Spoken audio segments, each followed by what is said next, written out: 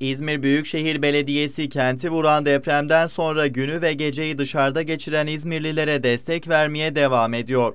Depremzedelere ve sahada çalışan personele kahvaltılık malzeme, çorba, kumanya ve günde iki öğün sıcak yemek dağıtılıyor. Ozan yemek yedin mi? Büyükşehir Belediyesi aşevinden öğlen ve akşam olmak üzere günde toplam 26 bin kişilik yemek çıkıyor. Depremzedelere yardım amacıyla toplanan malzemelerin dağıtımı için Bornova Aşık Veysel Buz Sporları Salonu'nda bir lojistik merkezi de kuruldu. Ayrıca bu bölgede iki adet de çamaşırhane kuruluyor. Deprem bölgesinden gelen yardım talepleri için de İzmir Büyükşehir Belediyesi'nin 444 40 35 numaralı deprem yardım hattı 24 saat boyunca telefonlara cevap veriyor. Tamam.